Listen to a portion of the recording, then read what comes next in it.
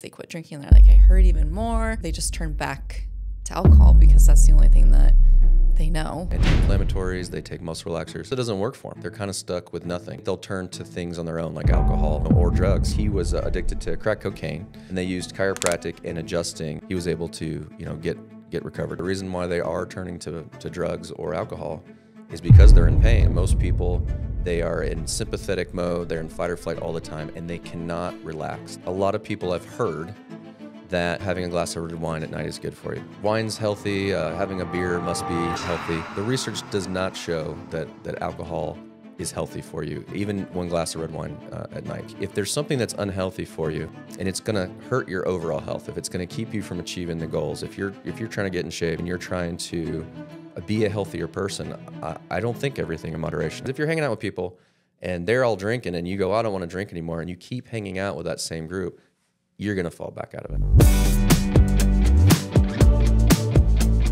How can chiropractic care support individuals in their sobriety and like recovery journeys? Okay, I'm glad you asked that, Megan. so I, I, have some studies here um, that I researched in advance. Now, this one is pretty popular. A lot of chiropractors know about this study. Um, so I'll start with this one, and then the other one I brought is basically the same thing. It's just one individual. Okay. So in this study, um, they had a lot of people at a Miami treatment clinic, and they broke them into groups. So I'm gonna flip through here. So Dr. Jay Holder is the creator of the torque release technique. So that's the type of chiropractic they used, which is different than the hands-on adjusting. So there's not a popping noise and everything. Um, so a little different style, but they had three different groups. One group in the study was participants received the um, standard level of addiction recovery treatment um, and then did not include chiropractic care. The second group, same thing, only they received fake chiropractic care. Um, so they basically turned the machine to off, and the patient wasn't sure if they were getting a real treatment or not.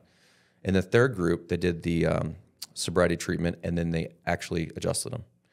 And so after the study was done, the first group, which didn't have any form of chiropractic, fake or real, 74% uh, completed their recovery treatment. In the second group, which is interesting, the ones that got the fake adjustments and the regular care, 56% finished. Uh, but in the third group that had chiropractic and uh, the, the regular treatment, 100% finished. 100%. 100, yeah, every single one. So this Holy one's pretty crap. pretty popular in the chiro world. It was done in 2001, but it was a pretty pretty big study. So a lot of chiropractors are familiar with this, uh, and so a lot of treatment facilities will include things like chiropractic or acupuncture to try to help get the best results possible. Wow. So, are there specific chiropractic methods or techniques that are beneficial for individuals seeking sobriety? Well, so it's in the chiropractic world, It's the nervous system. Yeah, we're all affecting the nervous system. So it can become subjective or opinionated at that point. Torque release technique or the activator technique, they're all using instruments. Um, you know, hands on adjustments, there was some research I saw recently where they did find that when you got a hands on adjustment, you did get a, a more soft tissue stretch out of that adjustment. So I think for many people, even though it's hard to study with a double blind study manual adjusting, I do think a lot of people would probably get better results with manual. Um, but there are certain situations where I think the tool it does work better for people. So that kind of gets a little bit more um, subjective. So whether you're seeing a manual patient or a, a tool patient, um, I think both would work to help the nervous system. But 100%. Like, that's absolutely amazing. Yes. So there's more studies on on sobriety and uh, addiction, um, but I like this. So this is basically the study, but this is sort of a summary of the study, and this was uh, in the Chronicle of Chiropractic. Um, what's neat about this is they kind of go into more of a potential reason why. Okay. Um, so this was on a, a case study. It was a 63 year old at at, uh, at a facility, and he was addicted to crack cocaine. So the court ordered him to go to this facility, and they used chiropractic and adjusting, and uh, he was able to you know get get recovered. So. Uh, but what's neat about this is they kind of go into more of a, a reason why they think it worked. okay. So basically, they said that when you get adjusted, it affects the brain reward cascade. Uh, so this is saying that research is revealing that there is a relationship between abnormalities in the spine, the nervous system, and the brain. Uh, and that was uh, from Dr. Jay Holder, who invented the torque release technique. and that ba- basic science research shows that the proper development and function of the brain relies on proper structure and movement of the spine from an early age, which I think is pretty cool. Which goes back to me wanting to promote chiropractic with kids. So, um, you know, a lot of people think chiropractors they're really good for car accidents and they're really good for, you know, maybe migraines or headaches. Um, and a lot of people don't even know that you can get adjusted as a kid. So, you know, if we if we kind of push that idea and more kids grow up getting adjusted, they grow up with a better developing nervous system and brain. And even if they never have musculoskeletal complaints, to me that's that's more important. Yeah. Um, and so I, I think if that was more, you know, normalized in, in society, if people went to chiros more and they turned to that kind of stuff more, they would they would turn to things like opiates less. I think from a developmental standpoint and from an alternative medicine standpoint, you would reduce addiction to alcohol, cocaine, opiates. So that across was the board. the brain reward. Yeah. Um, so So that's what a lot of us that get addicted. It's the reward at the end of the day, or rewarding yourself for, you know, doing something. It's like alcohol or drugs have to be that reward. So you're saying like it can help. Yeah. So there's another study. I didn't bring it with me, but my boss and me talk about it a lot at work, where there was a uh, study done on uh, smoking cessation. Okay. And so people who complete a program, it usually takes about a year for their brain to change chemically, because you know when you're not used to smoking, your brain, you know, gets doesn't have the reward it wants. And, and if you went to a treatment facility, a whole year goes by before your brain chemistry changes. Well, they did a study showing that when you add chiropractic to that, it changes in a month. So a month is way shorter than a year, obviously, but um, imagine how many chances you have to fall off the wagon and get back into smoking if it takes a whole year for your body to change. So, um, and that works partly with the brain reward system. When you get adjusted, you do get a little bit of a, of a dopamine hit. You get a little bit of a endorphin release. That's what I'm trying to say. And I think what happens when you smoke or if you drink is you get some of that release. And so if you get that with the chiropractic, your brain I think can quickly adapt because it's getting it from somewhere else. I've been with some of these people from the beginning of their journey, and that four to six month mark is like really hard because they're like kind of like I don't know, like it's that pink cloud effect. One of my doctors have said that it takes like six months for the brain to start, you know, repairing and stuff after hard alcohol. Up to, I mean, I've read like other like a year to two years. So you're saying like chiropractic could possibly help, like, Basically speed it up. yeah, speed Yeah. it up. Just helps the brain adapt faster. And I think people, most people, I don't think realize when you get adjusted, it affects the brain itself. Yeah. You know, I think it's easy to think about the nerves and pain, but when you get adjusted, it, it affects spinal cord, it affects the brain. Uh, they've done functional MRIs where they'll show people doing an activity and they'll measure glucose uptake in the brain and then they'll adjust the patient, have them do the same activity, and they actually are more efficient with how they use that glucose. So the brain itself gets affected. So I think chiropractic, you know, obviously as a chiropractor, I think chiropractic should be more integrated into rehab facilities. But I think also, you know, psychiatry, psychology, uh, even having that part of those groups, I think can help the brain adapt to even treatments for other issues as well. Yeah, I mean that's a really good point. Like you know, the chiropractic helps the nervous system, the brain, and then you have you know psychiatrists that also help with mental health. Do you have any real life experiences with patients like that have been addicted to anything? Um, so yes, but most of my experience was uh, in Wisconsin. I was in Wisconsin working for the medical facility. There was a uh, an anesthesiologist named Jeremy who used chiropractic to help keep his opiate addiction down.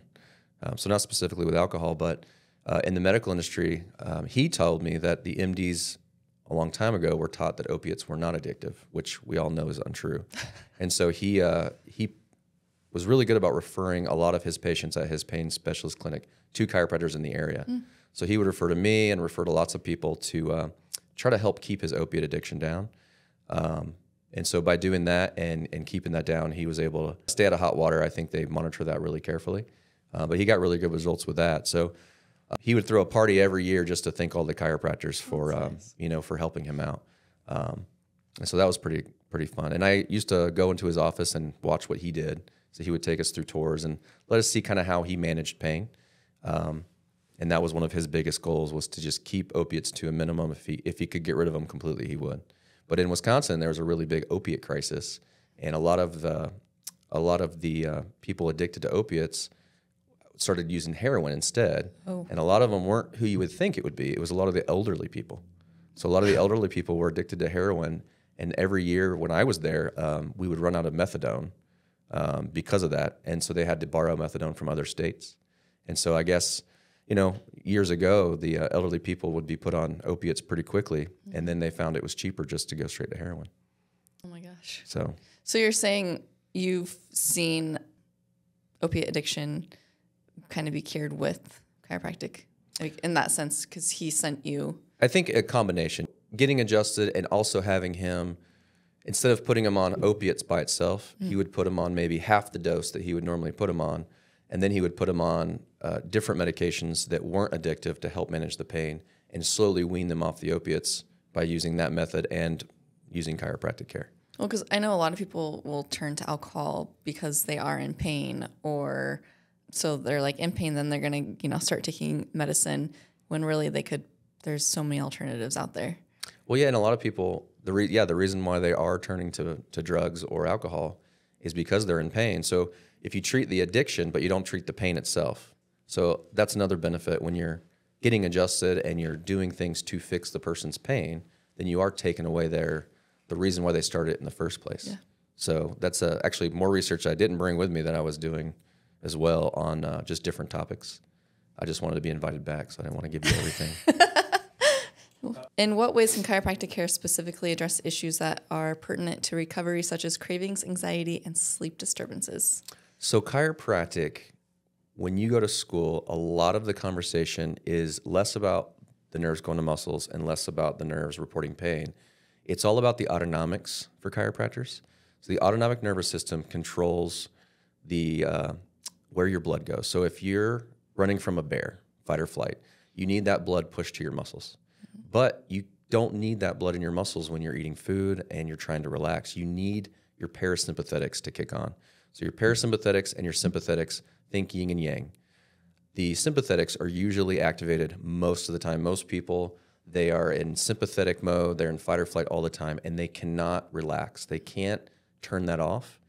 When you get adjusted, it actually helps your autonomic nervous system be able to switch back and forth better. So that's one of the things we look at when you're when you come to our office is we scan uh, the skin temperature, and your skin temperature is you know your skin's a big organ. So if your body has trouble regulating skin temperature, then we sort of infer, and we've been using this test for chiropractic for most of chiropractic um, to see if your autonomics can switch. If, if if it's always the same, if the pattern always looks the same, you're kind of stuck. You can't. You're not adaptable. So when you get adjusted, it helps calm and, and bring you into that parasympathetic state, which helps you heal. So it helps you digest food better. It helps you heal. Uh, it helps you with sleep. Personally, my wife actually went through a, a situation where she had a lot of trouble sleeping to where she had to be put on medication to sleep. And she's now trying to get off of that. So, of course, I adjust her. She goes to a, a, a MD who does a lot of nutrition work with her. Um, and with that combination, they're helping her get back into that more parasympathetic activation.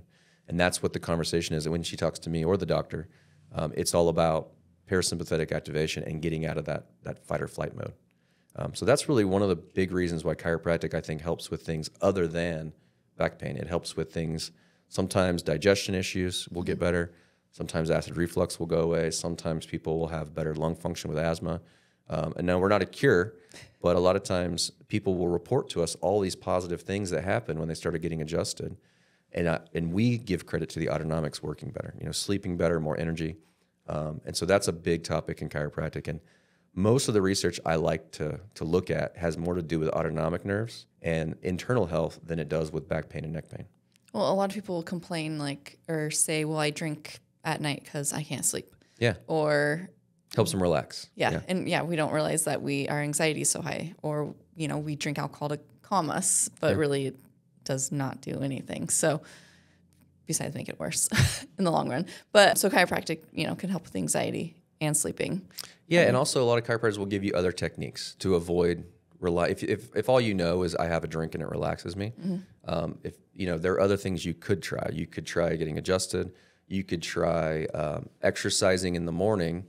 Um, that really helps me out. So when I exercise in the morning, and not only do I have more energy through the day, I sleep better at night. Um, I do things like not be. I don't watch TV at night, and I don't get on my phone at night if I can help it because I don't want to stimulate my brain. So I, I, you know, there's breathing techniques. There's lots of other op- things that you can try. And then when you're when you go to chiropractors or anybody who's in a wellness industry, they will often go and learn these things so they can educate their patients um, on other things they can try. So, you know, chiropractic, you know, and lots of other things to help just calm people down. Um, and it is hard. I think a lot of people are in that mode. They're, you know, they're on the go all the time, and your brain can't distinguish if a bear is attacking you or if you have a deadline to meet. Your brain and your nervous system will react the same way. It'll so that's that's the issue. Is that most people, you know, imagine years ago when we were living outdoors and we were being attacked by something, our sympathetics would kick on and we would get away. But then once that threat was gone, we had plenty of time to, to kind of switch back. Yeah. Where nowadays, it's all day, every day. You know, we wake up, there's things we have to do, we have to go to work, we have deadlines, and our body can't get out of that mode because it's not designed to be in that all the time. Mm-hmm. And so that's, I think most people are stuck in that situation. a lot of like people in my community they are always complaining that something hurts and then a lot of people in my in my personal life also are like i ache i you know have all these aches they quit drinking and they're like i hurt even more and they're not you know doing anything so they just turn back to alcohol because that's the only thing that they know so like taking like there's other options out there and i don't think people realize that Yeah, and I, I see a lot of patients that come to me from the medical world, and they go in and they they take you know anti-inflammatories, they take muscle relaxers, um, and sometimes it doesn't work for them. Uh, A lot of times it doesn't, and then so they're they're kind of stuck with nothing. And so I think they'll turn to things on their own, like alcohol, um, uh, you know, or drugs. But for me, a lot of times when we start adjusting them, their pain reduces or goes away. Um, now, there's other therapies we have in our office, like you know, shockwave therapy, or we call it soft wave therapy, um, or lasers that can help mitigate that as well. i think i did the laser and it helped my back Yeah, so there, there's other options and alternatives, and some people may not know that they exist or that the quality of the technology has improved a lot. Um, and so I think those people, if they if they were to try going to a chiropractic office and kind of learning more about what's what's developed over the last few years that has um, really helped us keep people away from things like cortisone injections um, and and turning to those things. Um, a lot of people, I think, think chiropractors maybe don't get into other alternatives other than just adjusting. Um, and so even if even if just the adjustments alone aren't enough to get rid of the pain, you can then couple that with other therapies. Uh, in fact, the uh, physical therapists, a lot a lot of physical therapists nowadays, and osteopathic medical doctors are starting to incorporate things like chiropractic adjustments themselves into their strategies as well, and kind of forming more of a blend. I think a long time ago it was sort of my thing versus your thing. You know, Yeah. PTs, you know, and chiropractors were sort of it was like my kung fu is better than your kung fu. Yeah, I remember, I mean, like when they wanted me to start physical therapy, I was like, well, I'll just go to chiropractor. And this was years ago. And they're Yeah. like, they looked at me weird. And I was like, Yeah. I mean, I don't, Well, when I was growing up, chiropractors and MDs weren't really getting along as well. Um, and so I think it was medicine or chiropractic or physical therapy or chiropractic. Whereas now, even the MDs I'm friends with um, are really into supplements and nutrition, and they refer to me and I refer to them. So I think it's not just one size fits all. It's not try chiropractic or try PT or try acupuncture or you know try supplements. It's more of finding a customized plan per person. And I think most you know chiropractors, PTs, um, MDs, DOs, I think most of them are trying to think that way nowadays, which I think benefits the patient because it's not you know one thing to fit everybody. Yeah. But I have patients where you know maybe the uh, the combination is adjustments and laser, or maybe it's adjustments and spinal decompression, or maybe it's uh, soft wave and then they go see an acupuncturist. So I think I think the biggest thing is there's more out there than I think a lot of people realize, and it isn't if this doesn't work, then give up. It's let's find a combination. yes. I think a lot of people just want the instant fix and they don't want to put the hard work in. But I mean, that's what I had no idea that chiropractic helped with addiction. And now it would make complete sense because it affects your nervous system and especially that brain reward. That like really, that was something that really stuck out. But back to like everything coming together, you said that the DOs and MDs and PTs are all like you guys are all like coming in a circle now, and it was funny because my daughter got adjusted, and I was like, that's weird. I had no idea that like our primary care doctor would Yeah. actually adjust her, and I'm like, oh, well, that's cool, I guess. Yeah, D- DOs, uh, they learn it in school, and some of them don't use it. Um, in Wisconsin, I was friends with a lot of DOs, and and some would use it in their clinics, and some some didn't feel comfortable doing it. Um, some people use it all the time in their clinics. So the DOs are interesting because they're they're medically trained. They can do anything an MD can do. They can do surgery. They can do you know medication, um, but they also get the um, they call it manipulation education. So they do osteopathic manipulation, and a lot of times they'll they'll do it, and they'll say, well, if that helps, go see a chiropractor. Um, and then, of course, the PTs are now getting trained in it as well. And sometimes they'll do it in their clinics. And if somebody wants to then go to a chiropractor for more of like a proactive plan, then they'll they'll send to us too. So it's everybody's sort of coming together. We're kind of all blending into each other's worlds. Um, I know a lot of MDs that are they won't even prescribe meds anymore. They just do supplements, which is traditionally more of an alternative approach. But I feel like a lot of people are kinda- going more natural. yeah, everybody's sort of coming uh, together, which I think is a good thing. Yeah. Yeah. So if somebody was like, "Hey, I'm addicted to opiates or alcohol or cigarettes or whatever," what type of plan do you think that they would need? Would they need to see like once a week, twice a week, once a month? Well, so for me, what we do, and not every chiro does it this way, is we start off with an exam. We do computerized nerve tests. Um, what those do is they show us information on the nerves that leave your spine and go to your muscles and your organs. We take that with the patient's symptoms and then we customize a plan. So if you had a patient who came to me who, who had an addiction issue and had maybe never been to a chiropractor, and I did these scans and I found there was a lot of things going on behind the scenes with those scans, I would probably give them a plan that would probably be about three times a week. That's pretty common. Probably for about 12 visits, and then I would reevaluate, and then we would change the plan. And a lot of times, what we start to do at that point is reduce the frequency. Um, and what we're doing in the end is we're changing soft tissue. So, what's holding the joints in a position where they can't move properly is the soft tissue. So, that's imagine going to yoga and getting flexible. It takes a little while to get there, and then things start to loosen up, and then it's just about keeping it. So my plan would would start off heavier to make that change go quicker, and then as I taper down, my end goal is to have that patient maybe coming in once, twice a month. Typically works for a lot of people. Some people come in every week, and they'll just maintain that over the course of their whole life. Yeah. I mean, every time I have an ache and pain, I'm like, I should probably go to the doc, go see Dr. Wagner. But I mean, I mean, I'm here. You can you can if you want. and now I'm wondering because I mean, I was seeing you every so. I mean, I'm not a consistent person when it comes to that, but like everybody's like, how did you do it? And I'm like, I don't know. Well, now that I think about it, like being adjusted, I mean, not consistently, but frequently. Maybe it helped with that brain reward, and so I'm taking I all the credit. Yeah. no. Yes, you helped me. and like, cause I never, you know, got addicted to sugar after I stopped drinking. And I never, I mean, I hard, like, I have to have something in my hand at all times. I mean, not at all times, but like coffee or like a seltzer water or whatever, like, especially at events. Like, it's just like something, just like somebody that ha- quits smoking. Like, they have, it's that, So that habit. yeah.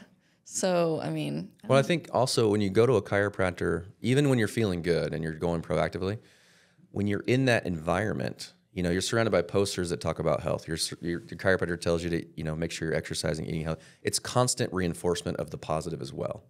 And I think even just being in the office and being around people who are thinking about health constantly is a good positive reinforcement. yeah.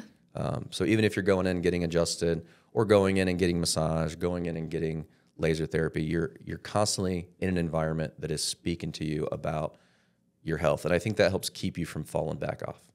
You know, surrounding yourself with people who think that way. As a chiropractor, what are your thoughts on alcohol? Like, especially when somebody comes up to you and asks you everything in moderation type Sure. attitude. So I know a lot of my patients will come to me and ask, uh, you know, because I think a lot of people have heard that you know having a glass of red wine at night is good for you, um, and so they'll say, well, wine's healthy, uh, having a beer must be healthy, um, but in reality, that's not true. So uh, there, the research does not show that that alcohol is healthy for you, even one glass of red wine uh, at night.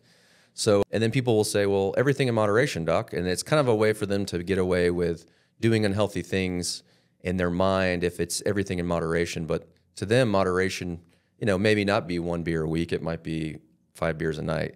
And they kind of, they kind of use that as an excuse. And I always like to counter that. I say, well, not really. So everything in moderation isn't true because I don't want you to ever use heroin. I don't want you to ever, you know, get addicted to, to crack, eh, even if you're doing it moderately.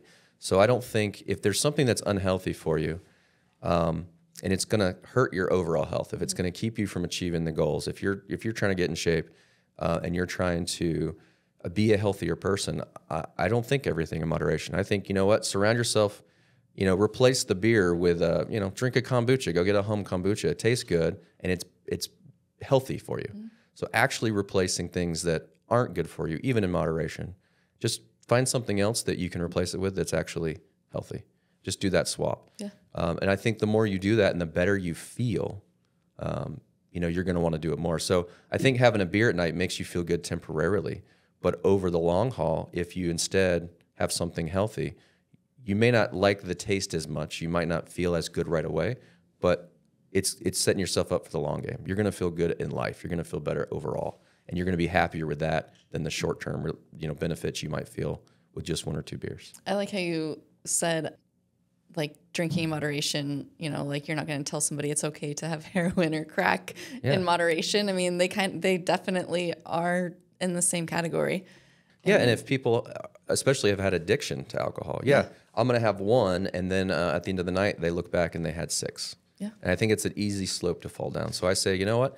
Why why even go down that road? Why not say, you know, I really I want to have a drink with my friends. Okay. Well, go hang out with people who don't drink alcohol and they'll they'll you'll just you'll have just as much fun. My wife does this. My wife doesn't. She's never been a big drinker, and um, she used to she used to go out with her friends, and they would always want to go out and go to bars and mm. and do that stuff, and it just wasn't really her scene. And she would go and she would hang out, but she wouldn't have a whole lot of fun uh, because she didn't want to drink a bunch of alcohol. Well, now she started working as a fitness instructor, and all of her friends are fitness instructors, and she loves hanging out with them because they go, "Hey, why don't we go to a workout class together? Yeah. Why don't we go and uh, go to the juice bar and hang out?" And she actually has a whole lot more fun doing that.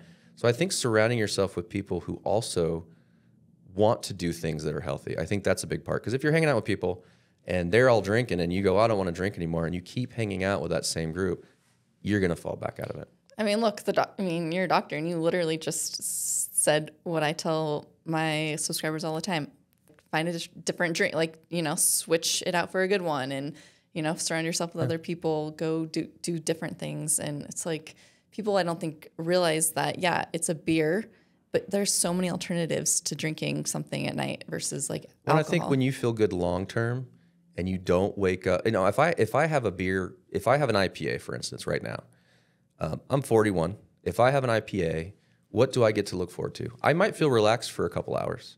I'm going to wake up tomorrow congested because I'm allergic to hops. Um, I'm going to have more wheezing because I have asthma and I, uh, I will, you know, affect my workouts. I go to the gym. I try to go every day. If I have a beer and I go to the gym, I feel like crap. Um, I'm also grumpy. Um, I feel like I'm just in, have lots of inflammation yeah. for two or three days. Um, and so I feel like the the reward to me isn't worth it anymore. I if I if I think about having a beer, um, and I don't have it in the house, so if I think about, oh, you know what, I want to go to the store and get a beer, I have to physically leave my house and go do it. That keeps me from doing it. Um, but also, I think about, well, tomorrow I'm going to go to F45 and work out, and I'm not going to be able to perform very well. I'm going to feel grumpy. I'm going to be grumpy towards my kid and my wife. And to me, it just doesn't. It doesn't really make me happy in the long term. Yeah. Um, so for me, the short term doesn't justify. I would rather I would rather feel good the whole week than to feel good for just a minute and then feel crappy for two or three days. Yeah. So one beer does not, I mean, it ruins your whole entire next day. An IPA does for me, yeah. yeah which is the only beer I really like, which is ironic. I but, mean, no, I was an IPA drinker too. Yeah. And so now, I mean, if I do, I will literally have congestion. I will feel grumpy. My, I'll get a headache. I feel like my brain has inflammation around. It's just the sensation. Um, and it's for a couple of days, just with one beer. And, uh, you know, and then I go to the gym or I'll, I'll try to run and I just don't perform well. So I feel like the short term benefit, at least what I think is a benefit and relaxation, still hinders the overall feeling good for the rest of the week. So as I get older, I start to realize that's more important to me, and and my mood with my kid and my wife is more important. So you like you said the benefit. I mean, I know what you meant. Temporary relaxation. yeah. yeah. So from your stance, are there supplements that can help? Like I take L-theanine. I don't know yeah. if I pronounce it right, but my NP Psych actually told me to start taking that, and it I think that really helped me ease into not drinking because I would take it at night instead of oh I need to relax, I need wine or a beer or a shot, like whatever. Like, do you have any supplements similar like that? So there are tons of supplements that help you re- relax. Um, I tend to steer towards standard process supplements. Um, uh, we also use Pure and Thorne, but there's lots of supplements, especially the whole food supplements, where not only is it helping you relax, you're also getting other benefits that are positive for your health. So with a beer, for instance, you might relax, but it's overall harder on your, your body. Mm-hmm. So you're getting unhealthier, even though you're, you're craving that relaxation. It's shrinking your brain. Yeah, it's affecting your liver. So when you take a supplement that helps you relax, especially something that's a whole food, you might be improving the function of your liver. You might also be improving the function of your mm. digestive system. So finding a way to do it and get the same benefit and get that relaxation and to help you get into that parasympathetic state, but also getting a positive overall health benefit, that's pretty cool to me. So I kind of steer towards the whole foods. Um, my wife goes to uh, an MD she's friends with who uses a lot of the pure encapsulated products, and she takes a, a product. Um, I forgot the name of it, but she loves it, and uh, it's like called like Rest and Restore or something. Mm. Um, and I actually maybe it is a, a, functional medicine of Idaho specific product, uh, but she said ever since she started taking that, um, it helps her calm down. It helps her go to sleep. Um, and in the past, I think when she was younger, I think she did have trouble getting to sleep and calming down. I think alcohol was what she used because when you're 20, you just don't know yeah. um, about all these supplements. You just you just you know if that's not what you're around all the time. Well, and sleep while drinking is I think it's miserable. Like you're tossing and turning, and you wake up, you're yeah. hot, you're flushed, you need, you're like thirsty, and well, if I if I drink, I will usually wake up around three or four in the morning because it spikes your uh, insulin levels, and then your glucose drops, and so you wake up hypoglycemic, you have a headache, you feel like crap, and if you don't know that's what it is, you can't go back to sleep. So you get crappy sleep, and then you wake up and can't go back to sleep. So that explains the hangover.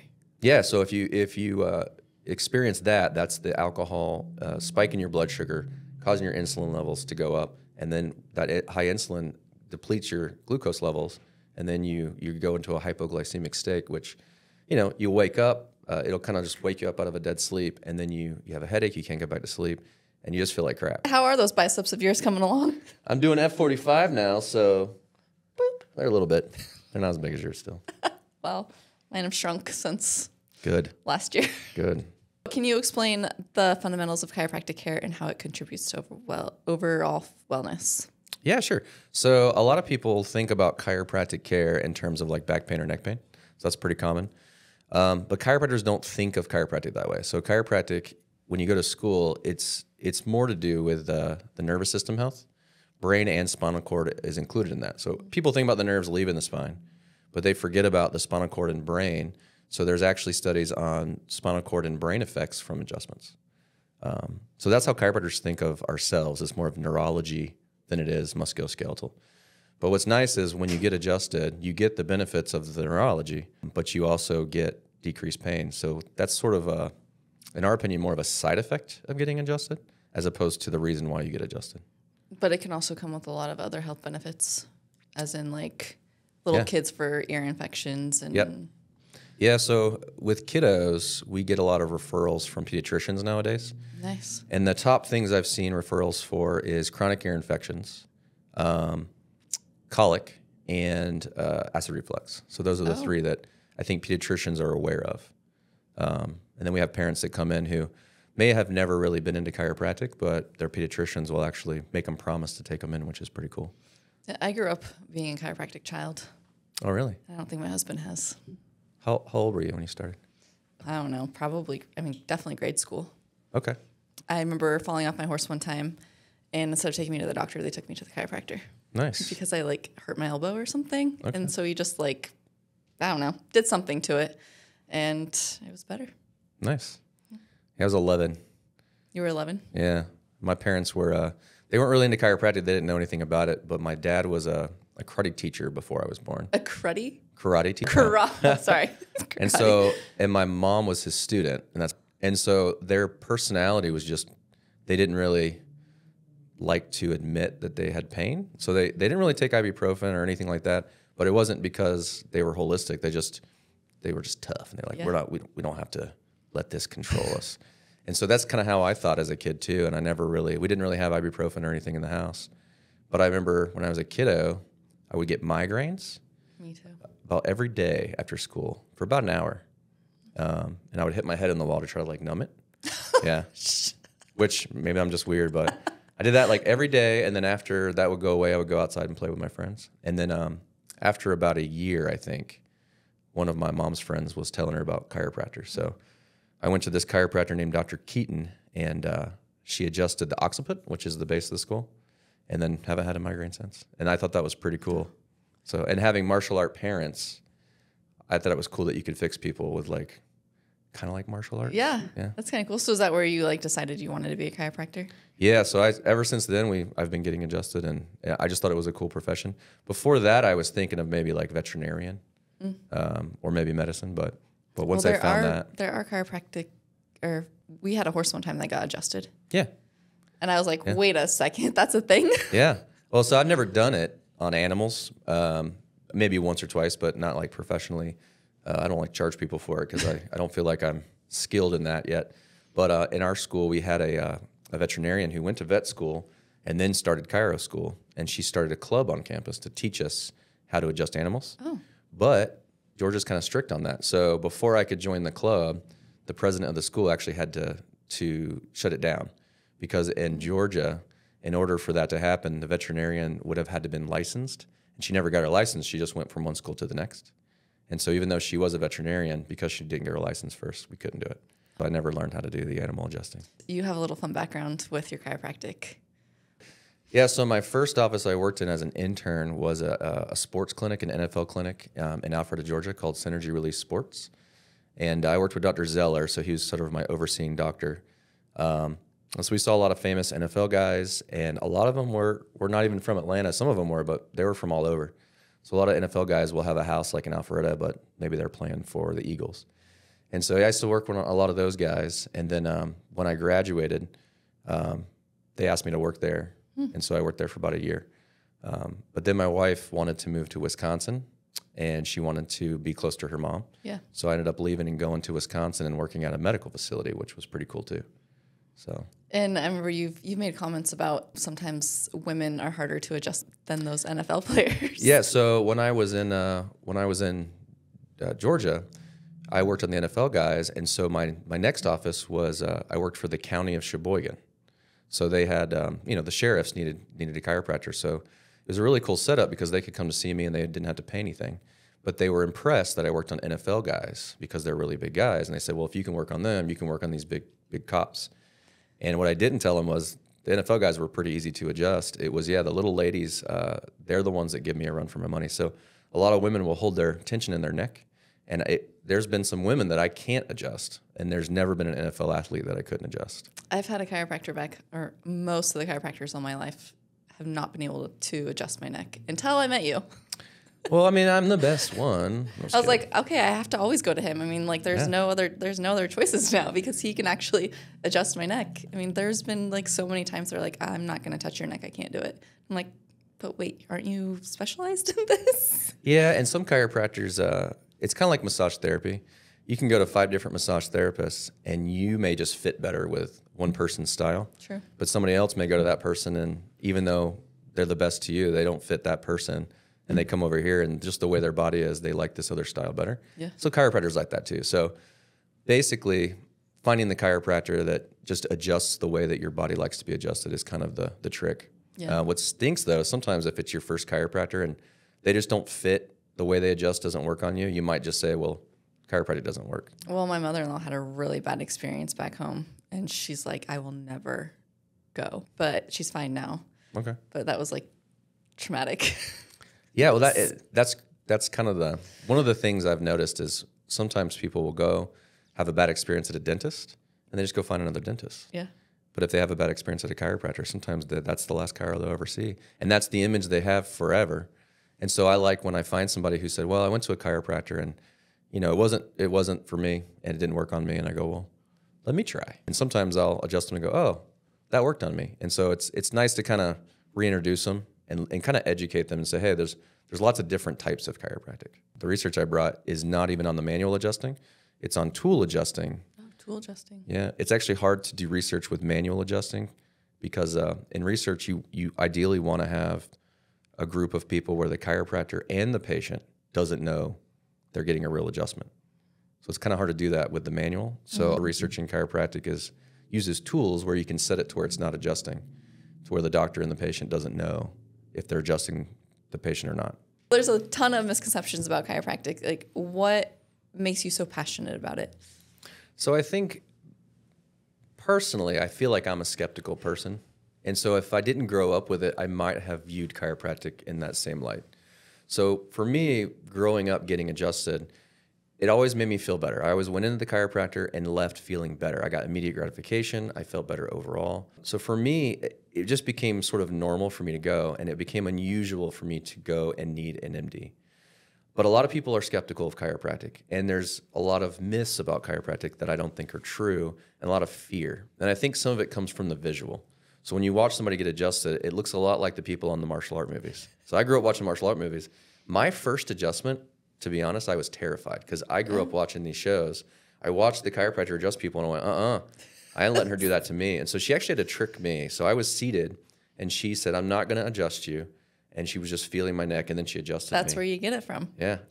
So I was, uh, you know, I was. It was shocking. The noise was shocking, but I felt great.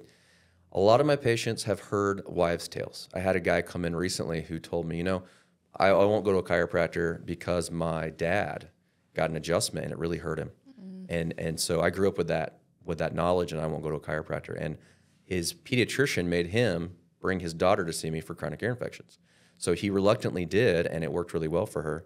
And so eventually he was on my schedule, and I said, uh, So what changed your mind? He goes, Well, after we talked, I went back and talked to my dad, and it turns out the chiropractor didn't hurt him. He was in a car accident, he had a disc injury. The chiropractor adjusted him. He got sore, which is a normal response, it can happen. And so he thought the chiropractor hurt him. But after I talked to him, I think the car accident hurt him, and the adjustment made him sore. It just scared him. So I think educating the, the patient before you adjust them is important. If you don't warn them, they might get sore. I think they then think they got injured, and then they tell all their friends that there was an injury, and that kind of spreads. Um, but even if somebody comes to me, let's say I have a 90 year old and she's terrified of getting adjusted, she has osteoporosis, her MDs have told her never get adjusted. The MDs don't always know there are other types of chiropractic. So with that patient, I would probably use something like the tools we talked about in here, which does no popping or crunching noises. Um, it usually doesn't make it too sore. Uh, every once in a while it does. It's very sweet and gentle. And if I introduce people to chiropractic that way and they get some of the benefits and they don't hear the noise that they're associating with us, they start to trust the chiropractic a little bit more. And then a lot of times they'll ask me to do it by hand once they get used to that. Um, but for people who come in who have just you know heard horror stories, a lot of times, um, you know, I will just talk about successes. I'll talk about patients I've seen, kids, adults, um, who have who are also terrified, got a few adjustments. It was gentler than they thought, and they walked out with a big smile on their face. So, you know, as soon as I adjust that person for the first time, it, it all makes sense. Uh, back in my old office, I didn't do any explanation. I had people come in all the time who had never been to a chiropractor. They were there because they were here for the nurse practitioners, and they would see me walking around, and they would say, "Hey, we uh, we heard uh, you know we don't believe in chiropractors." That's what they would tell me, and I go, "Well, we exist," and I just kind of walk away. And then, sure enough, they'd be on my schedule, and then um, I they would say, "Well, how does chiropractic work? I don't understand." And I'd say, "Lay down," and I would adjust them, and they would get up and go, "Oh." right? that feels really good. And so I think I think the visual is kind of scary for people, and I think the noise scares people. Um, but the big thing is the joint; it should be moving. There should be motion in there, and when it starts to stiffen up and you lose that motion, all a chiropractor is doing is they're taking it back through that normal range of motion that it should already have. Um, there's really very little chance, if any, of an actual injury occurring if done properly. And chiropractic doesn't have to be rough. I adjust people very gently. Um, I'm not a rough chiropractor. And so I think a lot of people assume that to get a good adjustment, it's got to be really hard. And that's the visual they have in their head. But there's lots of different gentle techniques. There's tools, there's gentle manual techniques, there's drop tables. Um, and most people who go to a chiropractor, most people refer their friends and Most people enjoy the experience and they leave feeling a little better each time.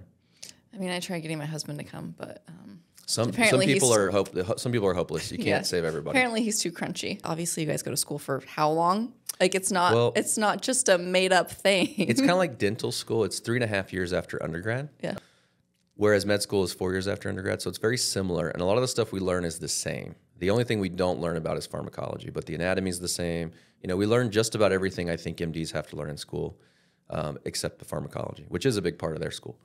Um, so it's I think it's more. Some people think it's like massage school. It's like a year, but it's it's it's pretty involved. We have to take four board exams to protect the public, uh, and they're you know on everything from recognizing you know cancer on X-rays to making sure that the person doesn't have something that needs to be referred out. That's mostly what boards are doing. So there's very few times where a person goes to a chiropractor that should be at an MD who doesn't then end up at the MD. Um, so there's a lot of things that go into protecting the public uh, with chiropractic, just like with medicine, just like with you know dentistry.